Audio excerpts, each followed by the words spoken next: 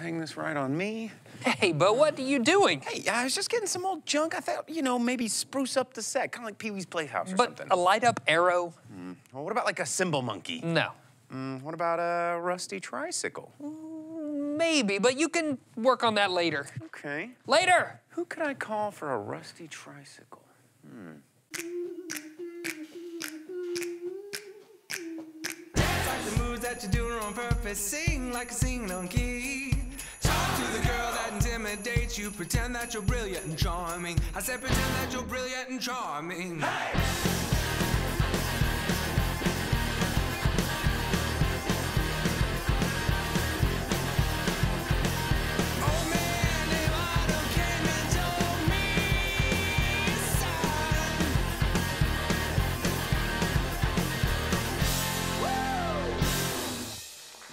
And now the original fall guy, Jason Suel.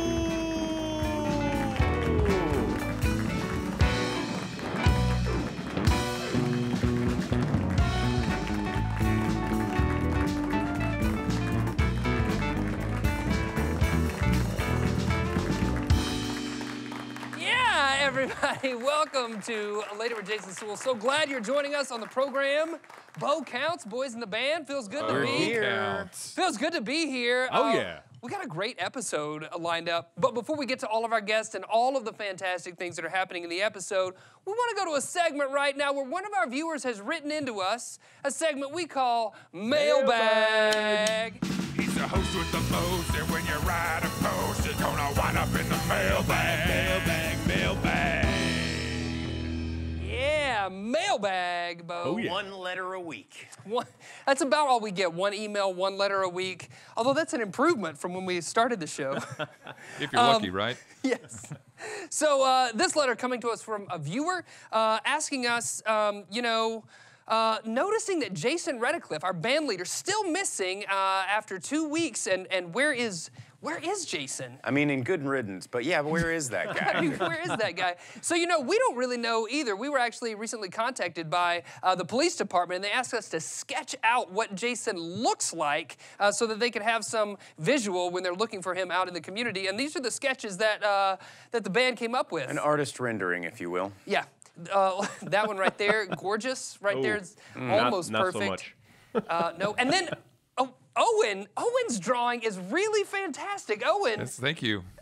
I mean, you're like a, you're I'm, like I'm a, a, quite the artist. you are. You're like a closet Van Gogh back That there. one's Look going at that on the fridge. Yeah. on the fridge. And hopefully we find Jason and he joins us again for a future episode uh, right here on Later with Jason Suel. Yeah!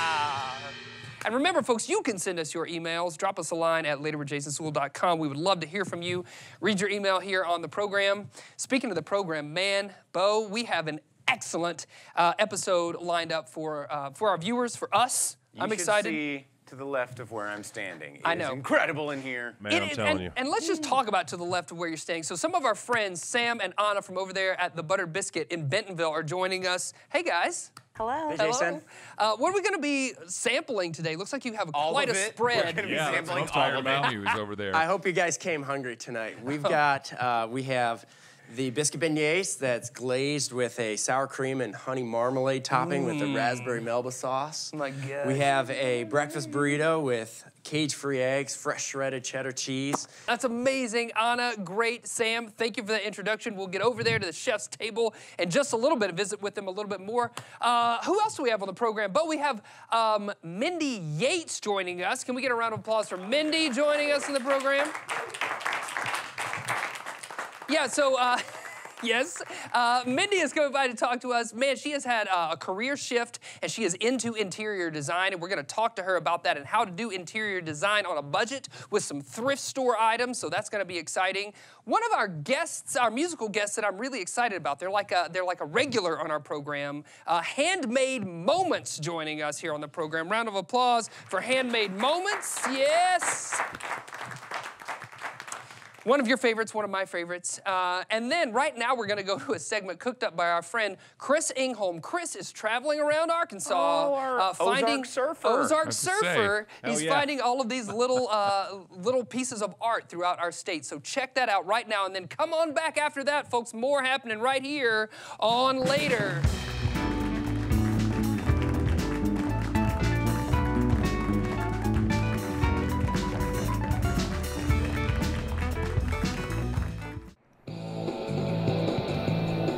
Coming into Harrison in northwest Arkansas, the first thing you notice is the gorgeous classical buildings clustered around its tree lined square. But I hadn't come here to see the architecture or go fishing along legendary Crooked Creek, which winds through town. I had come to investigate a history mystery. The Lyric Theater has looked out on Harrison's Courthouse Square since 1929, when an Eastern steelman, J.W. Bass, built it, along with the iconic Hotel Seville nearby. The Lyric played the new talkies and remained the cultural center of the town until the 1970s when it closed down and the building fell into neglect. Twenty years later, the Times newspaper suddenly announced it would buy the building and put up a parking lot. That raised the hackles of a local philanthropist who bought the theater and formed a non-profit to raise funds in order to restore it. The lyric was saved, and with it, the precious artwork inside. You see, when the theater was first built, it was decorated with six 12 foot high murals painted by somebody who knew what they were doing. Leaking water had damaged them, so a local artist, Gene Brantley, volunteered on weekends to fix them. A master painter himself, Gene found that the murals were of excellent quality and not likely painted by an artist from the Ozarks, let alone the United States. So, who was the mysterious painter? Legend has always been in Harrison that around that time a hobo muralist came to town and he traded his painting skills in exchange for room and board, and that he stayed in the upper gallery of the theater. The mystery haunted me, so I went to Tanette Madison, director of the Boone County Heritage Museum in town. Online, she found a mural in a bathhouse in Hot Springs that resembled those in the lyric, signed by J.W. Zelm. We then located other works by Zelm all over the southeast. But to prove that he was the hobo muralist of Harrison, I'd have to put on my gumshoes. 800 miles later, near Panama City, Florida, I found Foster Hall, built in 1912. There, surrounded by six Zelm murals, I met his daughter-in-law and two of his granddaughters. John William Zelm was born in Latvia in 1883. By the time of his death in 1971, he had embellished the interiors of scores of theaters, restaurants, hotels, all across the South. Then we opened up Zelm's old steamer trunk, where we found the original proposal he submitted to paint the interior of the Lyric Theater, signed by Agnes Bass. To celebrate, I paddled into some big wave action on the Gulf Coast. Then I rushed back to Harrison to catch a stage play at the Lyric. Later with Jason Suel is proudly presented by Sam's Furniture. For the largest selection of quality name brand furniture at everyday guaranteed low prices, get it at Sam's. Welcome back, everybody. Welcome back. Joining us now, we have Mindy Yates joining us. We're so happy to have you here on the program. Thank you for having me. Oh my gosh. My friends over at Cityscapes just love you, say you're a ton of fun. Uh, you're the bomb.com, and that we need to have you on the program. That is Your friends from 2004 Yeah, said exactly. you're the that is- bomb.com. That's fabulous. Yes, it is fabulous. fabulous. I don't know. I guess I'm one of a kind. That's Yeah, what I- Becky Gosnell says. Yes, that's what I've heard. Uh, so, so here's what, what I know has happened of you. You had a career in one field, and you recently shifted to the field of interior design. Tell us about that trajectory. What was that like for you? So did you see like a phrase that was painted on a piece of driftwood that like really resonated? You go, yeah, that's it. Yep, I'm Following doing my it. dream. That's what I did. No, so I've always loved the interior design, always. Um, but you know, going to college, you think, oh, I got to do the thing that's gonna, you know, make me um, successful. Right. Like a late night television show. um, you know, people, you know, make yourself marketable. So I did the accounting and HR, and I've done it, did it for 25 years. Yeah. Um, what changed my perspective on that is my son was diagnosed with cancer when he was three, and uh, just gives you a new outlook on things. And so my husband said, "Go for it. Let's do it." And so Let's here- do what drives here- you. Let's do what you're passionate about. Here we about. are. Yes. Yeah. so here you are. So you made that shift over the past like year or so. It's been very recent. No. Yeah, it hasn't been that long. Um, Oh, wow. I've- I left my job um, in January, Okay. and then we had some other family things that happened, and kind of wondering, what? Okay, what, am I going to do this? Am I not? God, what are you doing with me? Yeah. And uh, somebody asked for my portfolio, and I said, I don't have one. so I started to take pictures. I hired a Yeah. photographer, and just from those few pictures, I'm working with five, five clients right now, and it's been really fun.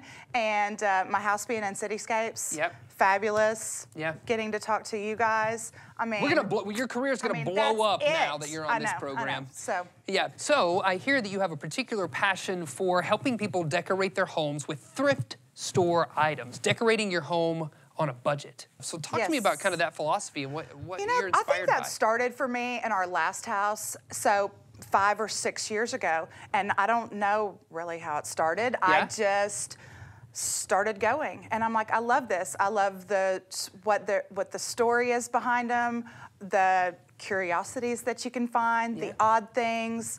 Um, and your money goes a lot farther. Yeah, So when we decided to renovate the house we live in now, which is what you'll see in Cityscapes, Mm-hmm. um, I got a storage unit because we were moving into a house that was twice the size of Yeah. our last one, and so we ju- I just started finding things I loved, and I think that's where people have a lot of uh, a hard time as you walk in and you look for something specific. You can't really do that when you thrift or Mm-hmm. go to an antique store. You just be, have to be open-minded and think, where can I use that? What can it Here's be? a dirty old rusted tricycle. What could that be used for? Exactly. Yeah. Um, you never know. and you can Um, find the use for it. Yes, Right? I love it. Um, a lot of things I love to leave the way they are. I like brass that's tarnished.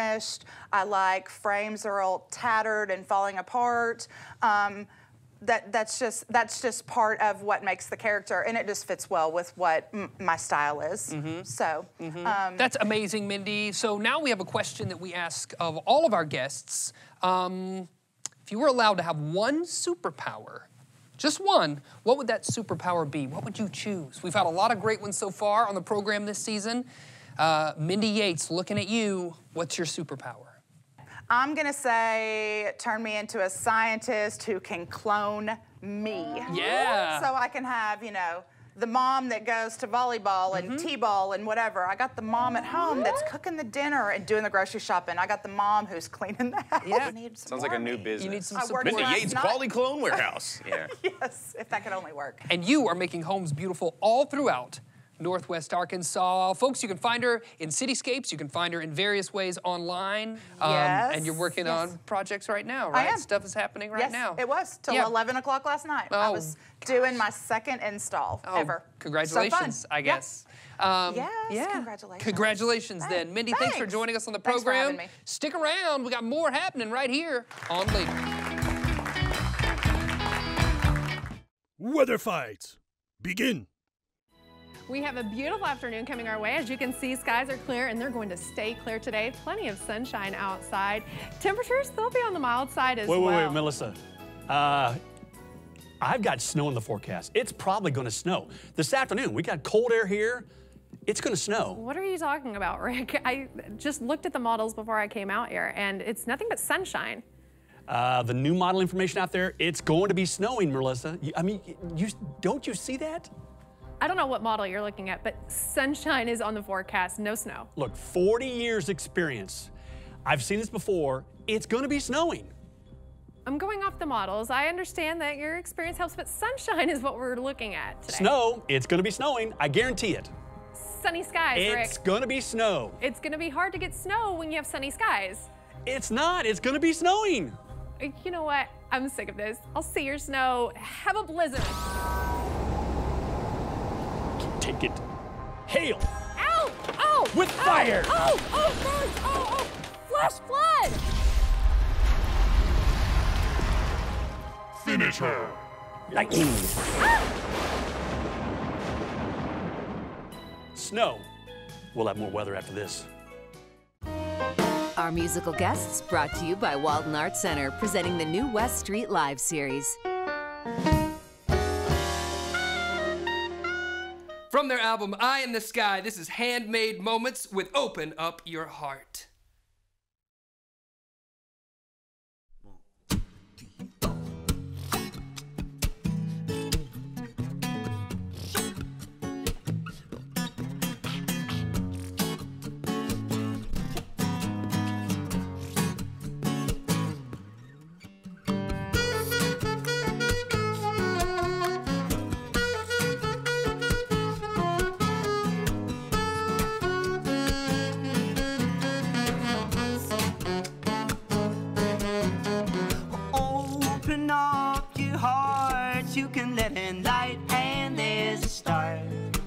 Know, only light can break the dark. So go and light a spark, yeah. Oh, and open up your eyes, wake up to this propaganda lies. They don't wanna hear you question why. So go and ask them why now. Why, why, why, why, why? Well, they're selling crack cocaine to the kids in the city streets. To the CIA, the ends that justify the means. You know they're blinded, blinded by the sight of greed, red and green. This Christmas Eve. Oh, no, no, no, no, no, no, no. Oh, say who?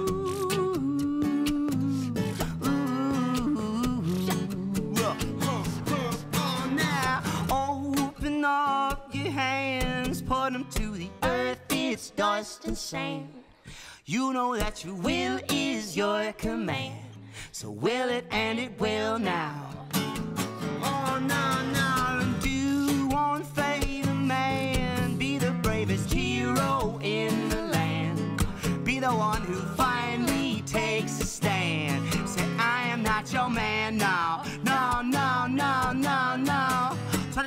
lie to you, sell you on that war machine. Coming to your high school, they gon' tell you everything. You could be a soldier killing in the Middle East. So much fun till the war is won.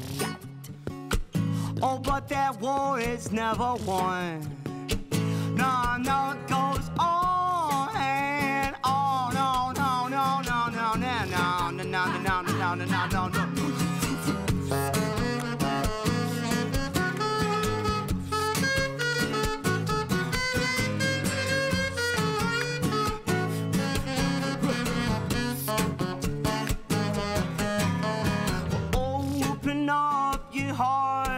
can let in light, and there's a start. You know, only light can break the dark. So go and light a spark, yeah. So go and light a spark, yeah. So go and light a spark, yeah.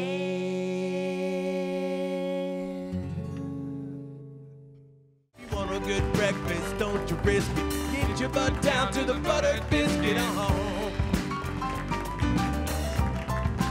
Baby, baby, oh.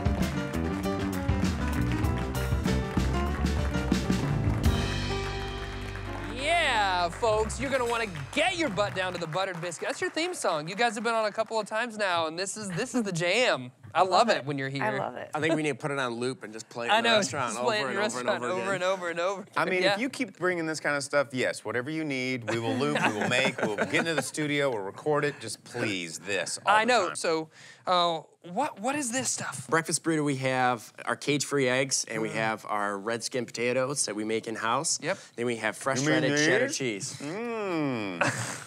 exactly. Uh, Strawberry pancakes? cheesecake pancakes. Oh, These yes. are an absolute hit. We sell them as appetizers. We sell them as main meals.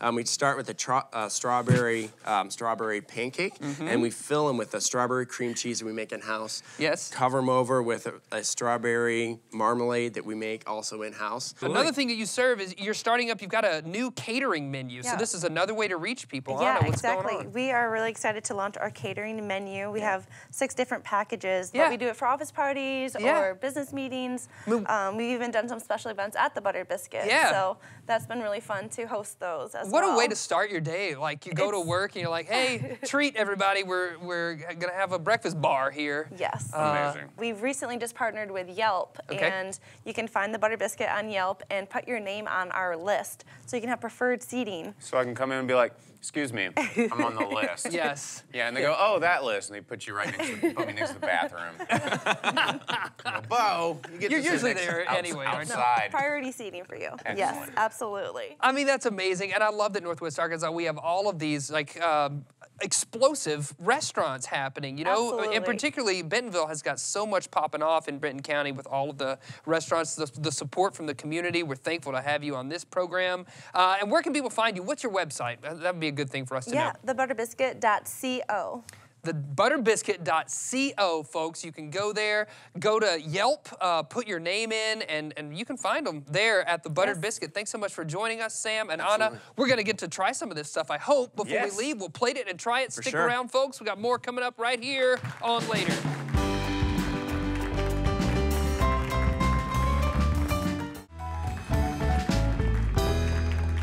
Everybody, thanks for joining us on this episode of Later with Jason Suel. And remember, you can drop us a line. We would love to hear from you. You can find us on your social media platforms and at laterwithjasonsuel.com. Before we leave this episode, we have to thank all of our amazing guests, including Mindy Yates, Handmade moments. Chris Engholm, Of course, Matt Nelson over there on the keys. filling in on the keys, and Sam and Anna from the Buttered Biscuit. thanks for joining us. See you later, alligator. After a while, crocodile. Let's eat some breakfast!